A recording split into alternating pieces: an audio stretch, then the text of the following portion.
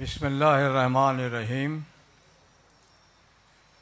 محترم علماء دین قابل احترام، خواتین و حضرات، السلام علیکم۔ میرے لیے بڑا اعزاز ہے کہ آج مجھے اس بڑے ہی اہم اجلاس میں مجھے آپ سے خطاب کرنے کا موقع ملا۔ میں آپ سب کا خصوصاً سلمان زیدی کا مشکور ہوں کہ وہ مجھے اپنے دوست جنرل ذاکر زیدی کے حوالے سے مجھے یہاں اٹھا کے لے آئے۔ انشاءاللہ آپ کی خدمت میں کچھ گزارشات کروں گا اور یہ بتانے کی کوشش کروں گا کہ ہمارے خلاف بڑی سازشیں ہوئی ہیں۔ دنیا اسلام نے بڑے دکھ اٹھائے ہیں۔ لیکن اب وقت آ گیا ہے کہ ہم اس قابل ہو گئے ہیں کہ دشمنوں کا مقابلہ کر سکیں، انشاءاللہ۔ آپ نے دیکھا کہ نائن الیون کے بعد دشمن نے کس طرح سے سوچے، سمجھے، منصوبے کے تحت مسلمان ملکوں کو تباہ کر کے رکھ دیا ہے۔ افغانستان کو تباہ کیا، عراق کو تباہ کیا، شام کو تباہ کیا، یمن کو تباہ کیا، صومالیہ کو تباہ کیا، لیبیا کو تباہ کیا۔ چھ مضبوط خوشحال ملکوں کو تباہ کر دیا، لاکھوں مسلمان کو مارا۔ اور جو تباہی آئی ہے، اس کا اندازہ لگانا مشکل ہے۔ اور اب چھ مسلمان ملکوں کو تباہ کرنے کے بعد ان کی نگاہ ایران پر تھی۔ اور جو کچھ پچھلے چند دنوں میں ہوا ہے، وہ اس بات کو ظاہر کرتا ہے کہ دشمن اپنی ناپاک سازشوں میں ناکام ہو گیا ہے۔ آپ نے دیکھا کہ آج سے چالیس سال پہلے انقلاب کے بعد کس طرح سے دشمنوں نے ایران کو ستایا ہے سینکشنز لگائے ہیں، مشکلات پیدا کی ہیں۔ لیکن ایران ثابت قدمی کے ساتھ، حوصلے کے ساتھ ان مشکلوں کا مقابلہ کرتے ہوئے آج اس مقام پہ پہنچا ہے کہ جہاں ایک ضرب لگائی ہے ایران نے اور دنیا کی سپر طاقت اپنے گھٹنوں پہ آ گئی ہے۔ یہ اللہ تعالیٰ کا کرم ہے کہ اللہ نے ہمیں یہ صلاحیت دی ہے، یہ استطاعت دی ہے۔ جب حملہ ہوا ہے، ہمارے محترم دوست جنرل سلیمانی پہ، اور اس کے بعد جب ایران نے اعلان کیا کہ ہم تم کو سخت سزا دیں گے، سبق سکھائیں گے، تو میں نے ایک تفصیلی مضمون لکھا۔ اور اس میں یہ کہا کہ خبردار، تم ہمارے جس ملک کے ساتھ ٹکر لے رہے ہو، اس کی صلاحیتوں کا اندازہ کرو۔ میں نے کہا، ایران کی جو سائبر ٹیکنالوجی ہے، جو آرٹیفیشل انٹیلیجنس ٹیکنالوجی ہے، وہ امریکہ کی ٹیکنالوجی سے برتر ہے، بہتر ہے۔ میں نے کہا جو اس کی میزائل ٹیکنالوجی ہے، جو اس کی ڈرون ٹیکنالوجی ہے، وہ امریکہ کی میزائل ٹیکنالوجی سے بہتر ہے۔ تمہیں مار پڑے گی، تم ہوشیار ہو جاؤ۔ یعنی میں نے اس کو خبردار کیا دشمن کو۔ ایک ایک بات بتائی۔ اور آپ نے دیکھا کہ جب ایران نے فیصلہ کر کے ایک ضرب لگائی ہے۔ ان اڈوں پہ جہاں امریکہ پہلے سے موجود تھا، جہاں سے وہ ڈرون اڑا تھا اور جنرل سلیمانی کو ہٹ کیا تھا۔ پہلے ڈبے پہ، پہلے اڈے پہ، الاسد کے فوجی اڈے پہ سترہ میزائل مارے۔ ایک میزائل بھی دشمن انٹرسپٹ نہیں کر سکا۔ کیا مطلب ہے اس کا؟ اس کا پورا نظام زمین پہ فیل ہو گیا، جیم ہو گیا۔ ایران نے اس کو ناکارہ بنا دیا۔ اس کے بعد پانچ میزائل دوسرے اڈے پہ مارے ہیں، ایک میزائل بھی دشمن انٹرسپٹ نہیں کر سکا۔ جبکہ امریکہ کلیم کرتا ہے کہ اس کے پاس دنیا کا سب سے بہتر ایئر ڈیفنس سفر موجود ہے۔ شان کریمی ہے کہ ایران دنیا کی سپر پار کے غرور کو خاک میں ملا دیا ہے۔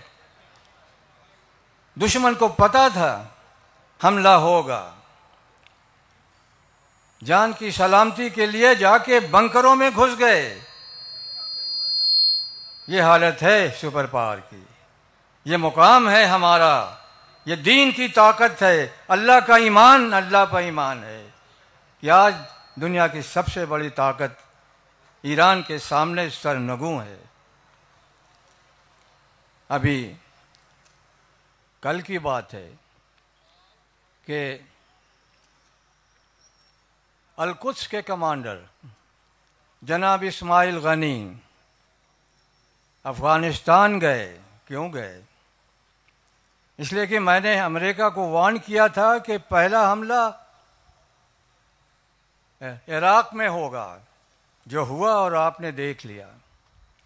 دوسرا حملہ افغانستان میں ہوگا، میں نے بتا دیا ہے ان کو۔ اور میں نے یہ بھی کہہ دیا ہے کہ تم ہم نے بنکر صاف کر لو تاکہ اس میں تم پناہ لے سکو۔ حملہ ہوگا تمہارے اوپر کبھی ایسا ہوا ہے دنیا میں کہ ہم بتا کے آئے کہ آ رہے ہیں، مار رہے ہیں تم کو، اور تم چھپتے ہو اور بھاگتے ہو۔ آپ یہ دیکھیں گے کہ حملہ ہوگا انشاءاللہ، اگر دشمن نے اپنی روا نہ بدلی۔ یہ بنکروں میں گھسیں گے۔ لیکن وہاں افغان مجاہدین موجود ہیں، کھینچ نکالیں گے، ان کی گردنیں دبا دیں گے۔ کہاں بھاگو گے کدھر جاؤ گے یہ حقیقت ہے جو میں آپ کو بتا رہا ہوں۔ تمہارے بھاگنے کی جگہ نہیں ہے۔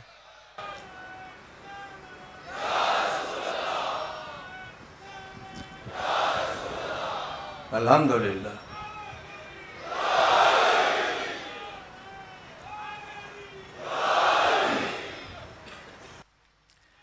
جب پہلا حملہ ہوا ہے عراق پہ اس کے بعد آپ نے سنا اسرائیل کی چیخیں نکل گئی۔ امریکہ سے مدد مانگنے لگا کہ خدا کے لیے جنگ کو آگے مت بڑھاؤ۔ کیوں؟ میں نے اسرائیل کو اپنے اسی مضمون میں آگاہ کر دیا تھا کہ دیکھو، اگر جنگ شروع ہوتی ہے تو پھر تمہارا کیا حشر بنے گا؟ میں نے کہا تمہارے اوپر ایک نہیں پانچ مختلف سمتوں سے میزائل، راکٹ، ڈرون کے حملے ہوں گے۔ ایران سے، عراق سے، یمن سے، لبنان سے، حماس کی طرف سے، ہزاروں کی تعداد میں، لاکھوں کی تعداد میں۔ تمہارا دماغ پھٹ جائے گا۔ تم بھاگو گے، کہاں بھاگو گے؟ کدھر جاؤ گے؟ اور پھر میں نے کہا کہ ایک اور بھی ہتھیار اللہ نے ہمیں دیا ہوا ہے۔ خود کش حملہ آور تیار بیٹھے ہیں۔ وہ نکلیں گے۔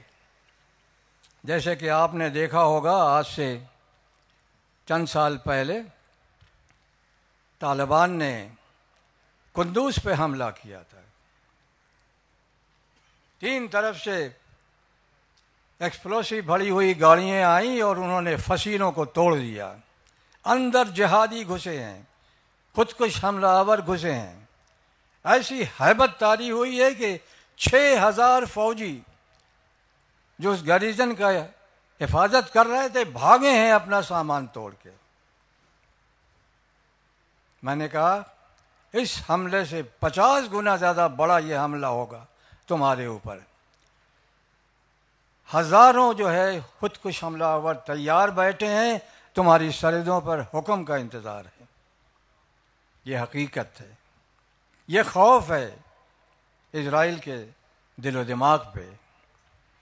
وہ جنگ نہیں چاہتا۔ وہ چاہتا ہے کہ کس طرح سے اپنی سازشوں میں امریکہ کو شامل کر کے دنیا اسلام کو نقصان پہنچاتا رہے۔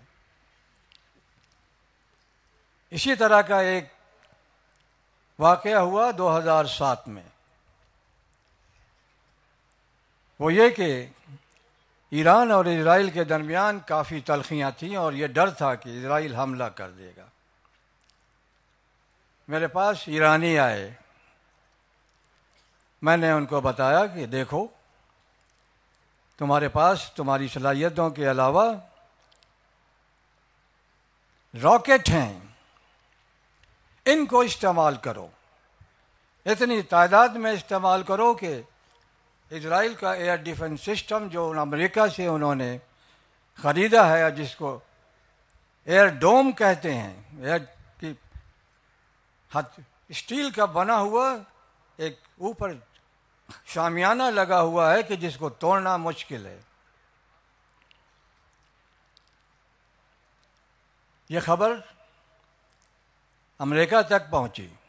جنگ سے پانچ دن پہلے واشنگٹن پوسٹ کے اخبار میں خبر آتی ہے کہ اسلم بیگ، جو آرمی چیف تھا پاکستان فوج کا، وہ کہتا ہے کہ اسرائیل کو ٹارگٹ کرو۔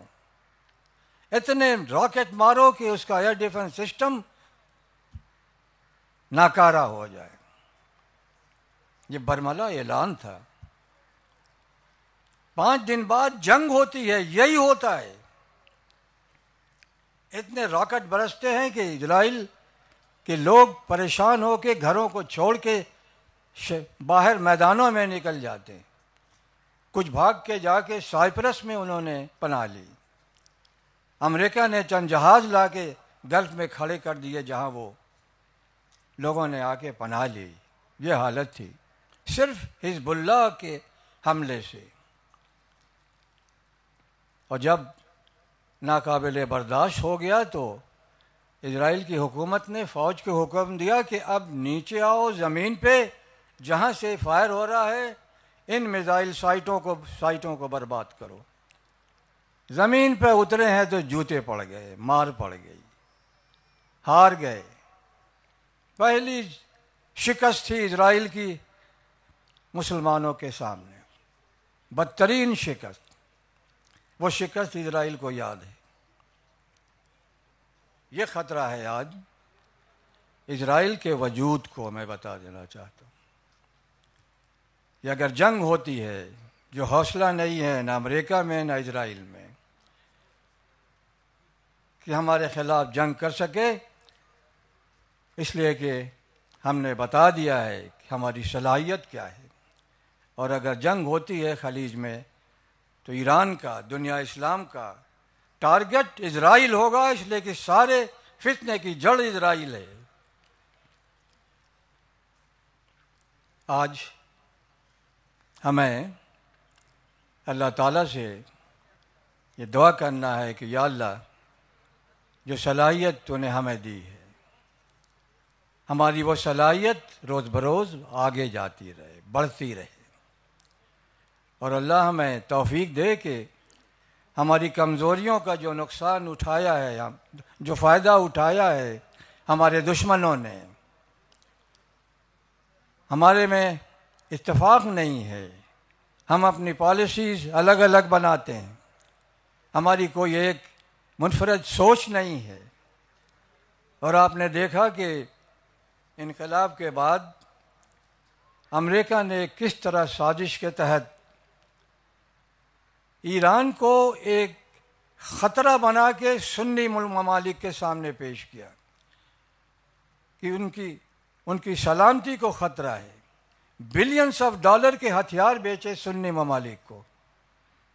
لیکن سب بیکار ہیں۔ اس لیے آج یہ مجمع، یہ اجتماع اللہ تعالیٰ کی برکت سے آج قائم ہوا ہے کہ ہم اپنے اختلافات کو بھلا کے، ہم صرف اللہ و رسول کے بتائے ہوئے احکامات پہ چل کے، اپنے تمام اختلافات کو بھلا کے ایک ہو کے دشمن کے مقابلے کے لیے تیار ہو جائے۔ اس لیے کہ یہ دشمن اکیلا نہیں ہے۔ پورا یورپین یونین اس کے ساتھ ہے۔ اور کچھ اور بھی لوگ ہیں جو ان کے ساتھ مل کر کے دنیا اسلام کے خلاف سازشوں میں لگے ہوئے ہیں۔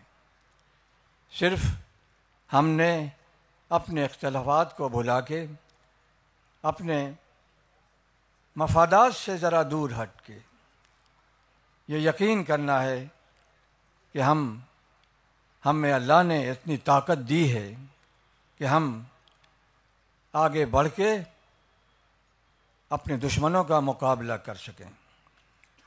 اور آج اس اجتماع کے حوالے سے میں وہ پیغام دہرانا چاہوں گا جو میں نے نائنٹین ایٹی ایٹ میں جب جنرل ضیاء کا انتقال ہوا اور اللہ نے مجھے آرمی چیف کی کرسی پہ بیٹھایا، پورے ملک کا اقتدار میرے ہاتھوں میں تھا۔ لیکن وہ امانت تھی ہمارے عوام کی، لوگوں کی۔ بلا کسی تعمل کے تین گھنٹے کے اندر ہم نے وہ امانت ان کو عطا کر دی، واپس کر دی۔ اور اس وقت میں نے ایک نظریہ پیش کیا تھا۔ یہ میں نائنٹین ایٹی ایٹ کی بات کرتا ہوں کہ ایران، عراق، جنگ ختم ہو گئی تھی، ایران جیت چکا تھا۔ افغانستان سے روسی پسپا ہو گئے تھے۔ پاکستان سے آمریت ختم ہو چکی تھی، جمہوریت کا دور تھا۔ ایک نئی صبح طلوع ہو رہی تھی۔ میں نے کہا کہ یہ تین ملک، پاکستان، ایران، افغانستان، بڑے طاقتور ملک ہیں۔ ان تین ملکوں کا ایک اتحاد بننا چاہیے۔ آج اللہ کی طرف سے یہی پیغام ہے۔ میں نے اس کانسیپٹ اس نظریے کو اسٹریٹجک ڈیپتھ کا نام دیا کہ جب یہ تین ملک ملک کے بیٹھ کے اکٹھے ہو جائیں گے تو اتنی بڑی طاقت ہوگی کہ کسی بھی دشمن کو ہماری طرف نگاہ اٹھانے کی جرت تک نہیں ہوگی۔ لیکن افسوس کہ امریکہ اور اس کے علاوہ ہمارے پاکستانی بھی دانشور جو کچھ بکے ہوئے لوگ تھے، انہوں نے اس کے خلاف کارروائی شروع کر دی۔ افغانستان میں حکومت نہیں بننے دیا، جو جنگ جیتے تھے مجاہدین، اس لیے کہ ان کو کل بھی، آج بھی یہ نہیں پسند کہ وہاں پہ ایک اسلامی حکومت قائم ہو۔ جو آپ کی طاقت ہے، جو ہماری طاقت ہے، جو دنیا اسلام کی طاقت ہے۔ آج اس مبارک اجتماع کے حوالے سے میں یہ پیغام دوبارہ دینا چاہتا ہوں کہ وہ مقصد ہمارا بنیادی مقصد ہونا چاہیے۔ پاکستان، ایران، افغانستان اور اس کو اب تھوڑا آگے جانا ہے، ترکی تک۔ یہ چار ملکوں کا اتحاد انشاءاللہ جس دن بن گیا آپ دیکھیں گے کہ دوسرا دنیا اسلام کی شکل بدل جائے گی۔ یہ ہمارا مستقبل ہے۔ اور آپ یہ بھی دیکھیں گے کہ اس کے راستے میں کتنی رکاوٹیں پیدا کی جاتی ہیں۔ کسی افسوس کی، کسی دکھ کی، کسی ناامیدی کی بات مت کریں۔ یہ دیکھیں کہ اس خالی کے کائنات نے ایران کو کتنی طاقت ادا کی ہے کہ آج دنیا کا سب سے طاقتور ملک اس کے ایک ہی جھٹکے سے ایک ہی ضرب سے جو ہے بےتاب ہو گیا ہے۔ یہ ہماری طاقت ہے۔ اس طاقت کو آگے بڑھائیے۔ یہ ہماری بھی طاقت ہے پاکستان کی۔ اللہ ہمیں ہمت دے، حوصلہ دے کہ ہم مل کر کے دنیا کو دکھا دیں کہ ہماری کیا طاقت ہے اور ہم ہر بڑی سے سازش سے سازش کو ناکام بنا سکتے اللہ تعالیٰ، آپ سب کو حامی و ناصر کا حامی ناصر ہو، کامیابی، سرخروئی آپ کا قدم چومے۔ اللہ حافظ، فی امان